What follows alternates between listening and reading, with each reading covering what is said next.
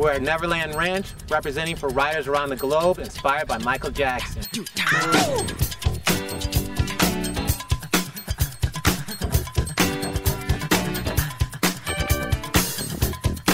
We dedicate this session to my boy Michael.